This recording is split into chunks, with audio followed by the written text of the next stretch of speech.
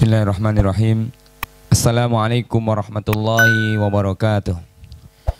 Innal hamdalillah nahmaduhu wa nasta'inuhu wa nastaghfiruh wa nastahdihi wa natubu ilaihi wa na'udzu bihi min sururi anfusina was sayyiati a'malina.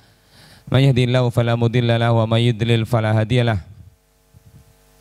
Nashhadu an la ilaha illallah wa nashhadu anna Muhammadan abduhu wa rasuluhu la rasula wa la nabiyya ba'dah. Yaqulu tabaraka wa ta'ala fi kitabihil karim A'udhu billahi minasyaitonir rajim Ya ayyuhalladzina amanu taqullaha haqqa tuqatih wa la tamutunna illa wa antum muslimun Wa qala fadhkuruni adhkurkum washkuruni wa la takfurun Wa qala alaihi salatu wassalamu fi hadisihi man lam yashkurin nas lam yashkurillah. Au kama qala alaihi salatu wassalam. Allahumma la sahla illa ma ja'altahu sahla wa anta taj'alil hajana idza syi'ta sahla. Jamaah kaum muslimin rahimakumullah Ini adalah episode yang ke-28 dari kajian Tazkiyatun Nafas. Masih kita sarikan dari kitab Mukhtasar Minhajul Qasidin yang dikarang oleh Imam Ibn Qudam Al-Maqdisi pada kesempatan kali ini kita akan mengambil bagian yang kedua dari uh, bab as-sabru wasyukru yaitu bab sabar dan syukur. Pada kesempatan kali ini kita mulai membahas tentang uh, asyukru atau kitab syukri. Untuk pembahasan tentang syukur, pengertiannya, pembagiannya dan yang lainnya kita nukilkan sedikit dari tulisan dari Syekh uh, Syekh Muhammad bin Saleh Al Munajjid dalam kitab beliau Silsilah Amil Qulub di sana beliau menjelaskan cukup sistematis terkait dengan persoalan syukur. Kita lihat dulu tentang pengertian syukur bahwa asyukru huwa al-i'tirafu bil ihsani wa nasrihi Syukur secara bahasa artinya mengakui suatu kebaikan dan menyebarkannya. Kemudian para ulama berbeda pendapat tentang bagaimana mendefinisikan syukur secara istilah.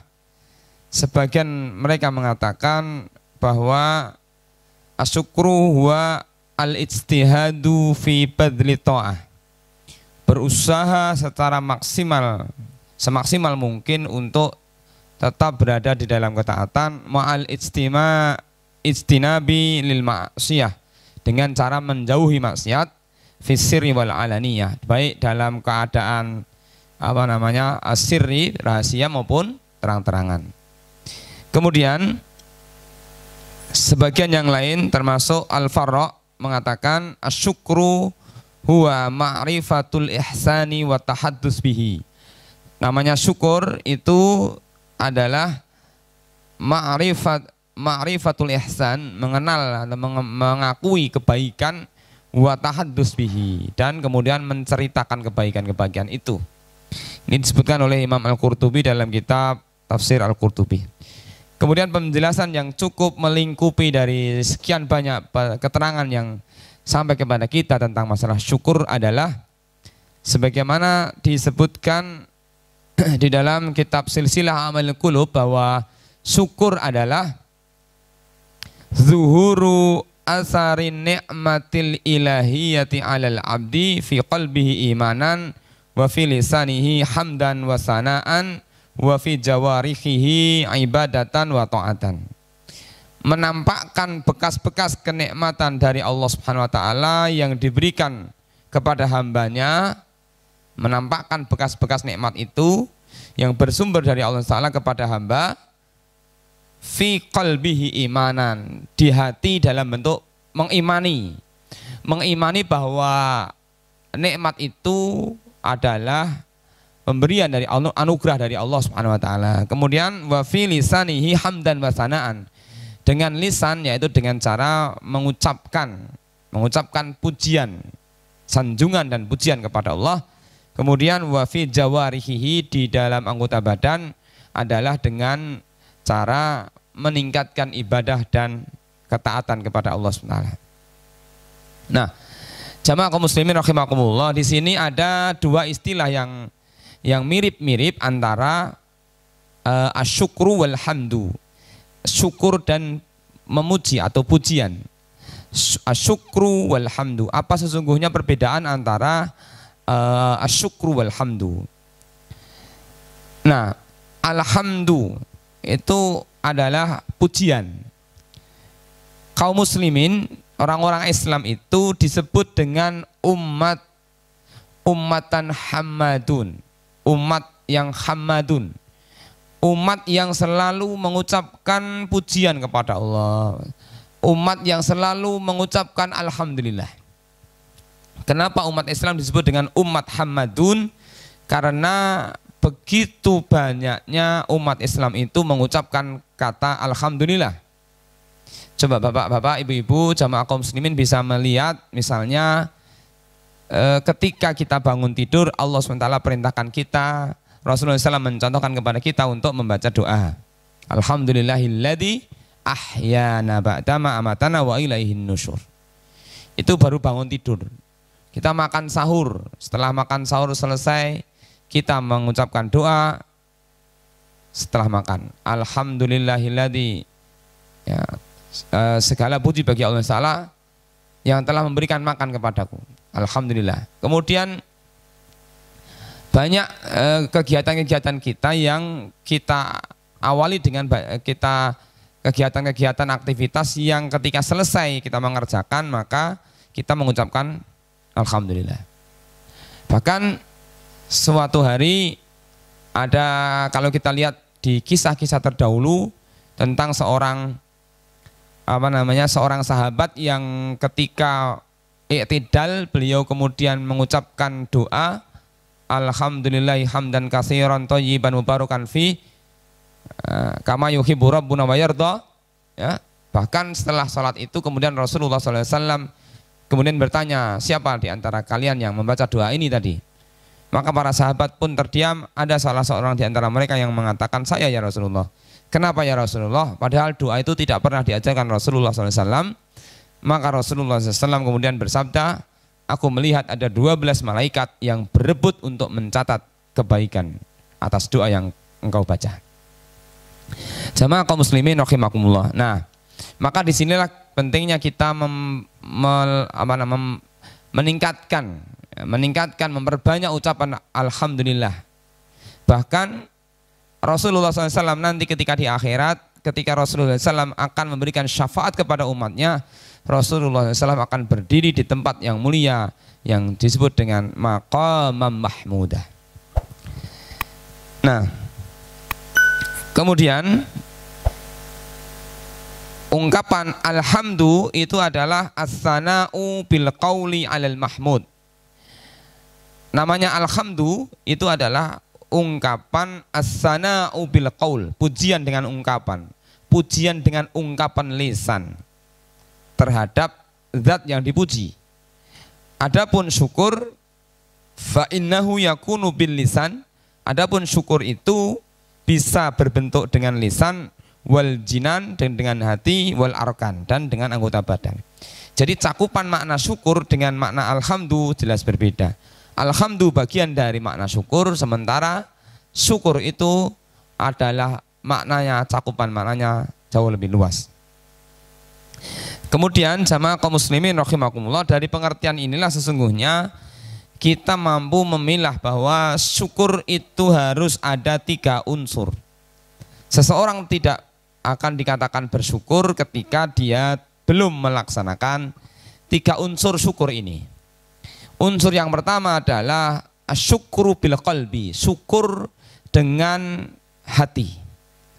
Syukru bil qalbi huwa ilmuhu bi anna Allah huwal mun'im bi kulli ni'am allati yataqallabu biha. Yang dimaksud dengan syukur dengan hati adalah ilmuhu, pengetahuan hati itu bahwa hati itu mengakui bahwa semua nikmat yang ada yang dia terima itu bersumber dari Allah SWT. Maka ketika orang ini mengakui bahwa bahwa nikmat yang dia terima itu bersumber dari Allah Taala, bukan dari yang lain, maka orang ini dalam satu pengertian sudah bersyukur dengan hati. Maka ketika ada orang uh, mungkin kita ambil contoh di lingkungan kita, ya, ada orang yang sudah menanam padi, sudah mau sudah menjelang panen, dia meletakkan sajen sesajen di pojok-pojok tempat sawahnya dengan meyakini bahwa dengan meletakkan sesaji itu di tempat sawah-sawahnya itu dia berharap bahwa Dewi Sri akan memberikan panen yang banyak. Maka ini sebuah kesalahan yang diyakini oleh sebagian masyarakat bahwa sesungguhnya yang memberikan panen itu adalah Allah Subhanahu bukan Dewi Sri. Kenapa? Karena itu adalah nikmat yang diberikan oleh Allah Subhanahu bukan tidak boleh kita sandarkan kepada selain Allah. Kemudian yang kedua adalah asyukru bil lisan. Syukur dengan lisan. Lisanul mar'i yu'arribu amma fi qalbihi. Maka lisan seseorang itu menjadi ungkapan dari apa yang ada di dalam hatinya. Fa'idham tala al-qalbu bisyukrillah. Maka kalau hati itu dengan sudah dipenuhi dengan syukur kepada Allah, maka lisan akan mengucapkan dengan pujian atasnya.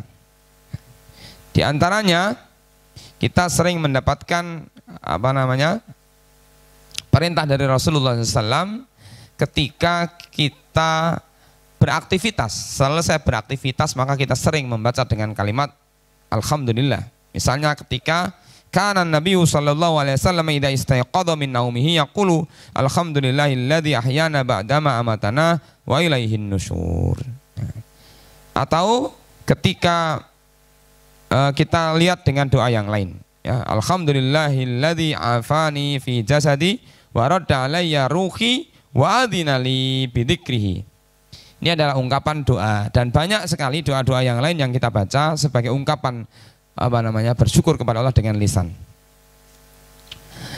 Kemudian yang berikutnya adalah asyukru bil jawari, syukur dengan anggota badan. Asyukru bil jawari huwa yakunu bil amali salih. Syukur dengan anggota badan adalah dengan menggunakan nikmat itu dalam rangka untuk meningkatkan ibadah dan ketaatan kepada Allah SWT. Ini adalah bentuk syukur dengan anggota badan. Kemudian kita sering mendengar dengan istilah sujud syukur. Sujud syukur ini bagian dari syukur anggota badan. Ya, syukur anggota badan. Maka kita pun mendapatkan perintah dari Rasulullah SAW. Rasulullah SAW memberikan contoh kepada kita. Fa'an Abi Bakrah anin Nabi sallallahu alaihi wasallam annahu kana idza ja'ahu amru sururin aw busyira bihi kharra sajidan syakiran lillah. Rawahu Abu Dawud. Dari Abu Bakrah radhiyallahu anhu bahwa Nabi sallallahu alaihi wasallam kana idza ja'ahu amru sururin bahwa Rasulullah SAW ketika beliau mendapatkan perkara-perkara yang menyenangkan hatinya, membuat hati beliau berbahagia, berbunga-bunga, au atau beliau mendapatkan kabar yang menyenangkan kharra sajidan syakiran lillah maka kemudian Rasulullah tersungkur sujud dalam rangka bersyukur kepada Allah Taala maka dari sinilah kemudian para ulama kemudian menyimpulkan bahwa sujud syukur itu bagian dari apa namanya syukur jawareh.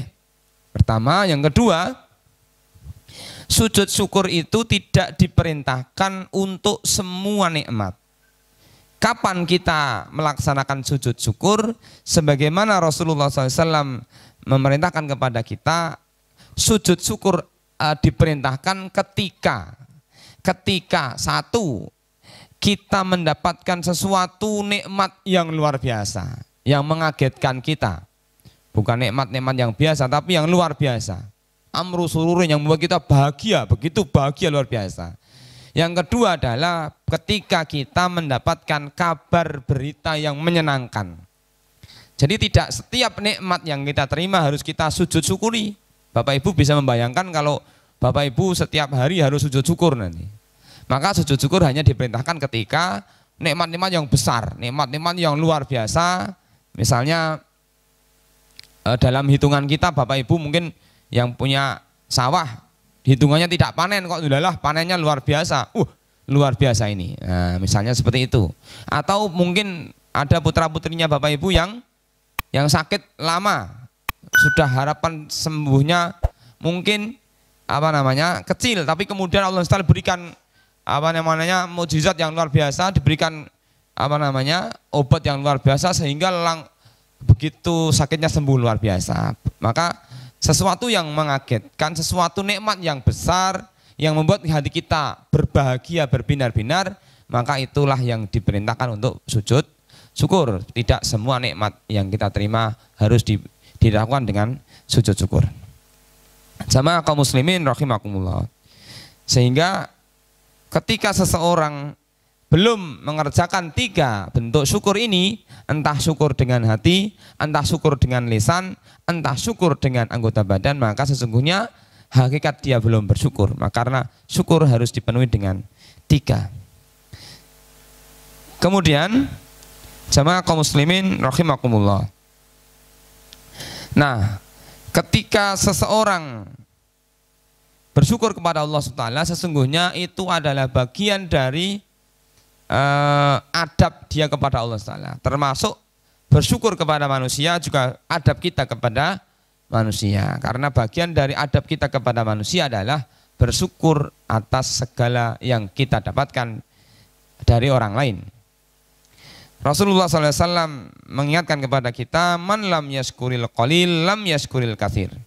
Walam yaskurin nas, waman lam yaskurin nas, lam yaskurillah. Barang siapa yang tidak bersyukur dari yang sedikit, maka sungguh dia tidak mungkin akan bersyukur yang banyak. Barang siapa yang tidak mau bersyukur kepada manusia, tidak mungkin dia akan bersyukur kepada Allah. Maka menjadi uh, poin penting bahwa mari kita bersyukur dari yang sedikit, sehingga yang sedikit itu akan membuat kita ini akan mensyukur yang banyak. Lawang yang sedikit saja kita sudah bersyukur, apalagi yang banyak. Kalau yang sedikit kita tidak bisa bersyukur, maka tidak mungkin kita akan bersyukur sesuatu yang banyak.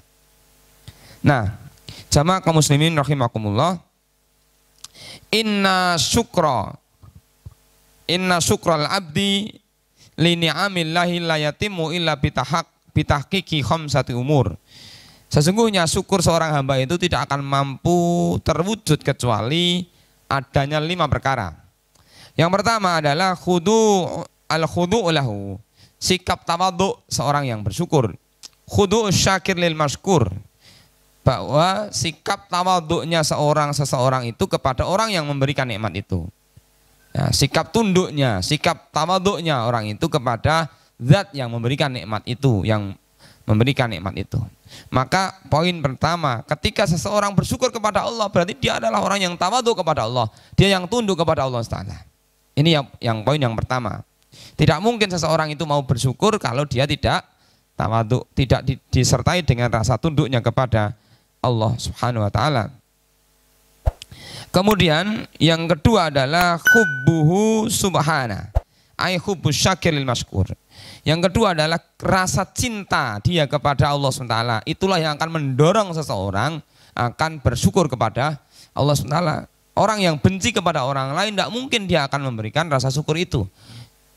Maka ketika kita ingin bersyukur kepada Allah, maka itu wujud bahwa kita mencintai Allah Taala. Wujud cinta kita kepada Allah Taala adalah kita ini bersyukur kepada Allah Taala. Kemudian yang ketiga yang ke, yang ketiga adalah al-i'tirafu. Yaitu mengakui bahwa syukur bahwa nikmat itu bersumber dari Allah Taala. Bentuk mengakui nikmat dari Allah ini adalah satu sikap yang akan menuntun kita bahwa kita akan bersyukur kepada Allah Taala. Bagaimana mungkin seseorang akan bersyukur sementara dia tidak mengakui akan nikmat itu bersumber dari Allah Taala.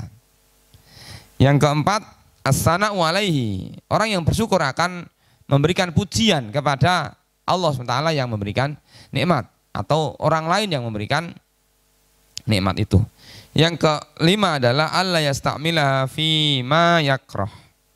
Jadi tidak menggunakan nikmat yang telah dia terima dalam rangka bermaksiat atau sesuatu yang dibenci oleh orang yang memberikan nikmat itu. Maka lima poin penting inilah yang akan menuntun kita supaya kita senantiasa bersyukur kepada Allah Taala. Allah SWT menyebutkan di dalam ayat yang lain wasana jazis syakirin di dalam surah Ali Imran ayat 145 dan kami akan memberikan pahala kepada orang-orang yang bersyukur. Karena begitu sulitnya syukur ini maka bilangan orang-orang yang bersyukur di dunia ini lebih sedikit daripada orang yang tidak bersyukur. Bersyukur, orang yang bersyukur itu jumlahnya lebih sedikit daripada orang yang kufur karena lawan dari bersyukur adalah kufur. Maka Umar Ibn Khattab uh, pernah berdoa kepada Allah Taala, Allahumma ja'alni minal qalilin. Ya Allah, jadikan aku bagian dari orang-orang yang yang sedikit. Maka sahabatnya bertanya, ya, ya Umar, ya Amirul Mukminin, kenapa engkau berdoa supaya menjadi orang-orang yang golongan sedikit? Maka Umar menyebutkan sekian banyak ayat yang menyebutkan tentang tentang keadaan orang-orang yang sedikit. Di antaranya adalah waqalilum min ibadiyas syakur. Dan sedikit hamba-hambaku yang suka bersyukur berarti bilangan orang-orang yang bersyukur itu sedikit dibandingkan dengan orang-orang yang kufur. Maka karena bilangan-bilangan orang yang bersyukur itu sedikit, marilah kita menjadi menjadikan pribadi-pribadi kita orang-orang yang terpilih oleh Allah Taala yang senantiasa bersyukur atas segala nikmat yang diberikan oleh Allah Subhanahu wa taala kepada kita. Demikian episode yang ke-28 ini eh, sebagai pengawal apa pembukaan dari dari bab syukur semoga kita menambah wawasan kita tentang persoalan syukur bab selanjutnya akan kita lanjutkan pada episode yang berikutnya. Al-afu minkum. Wassalamualaikum warahmatullahi wabarakatuh.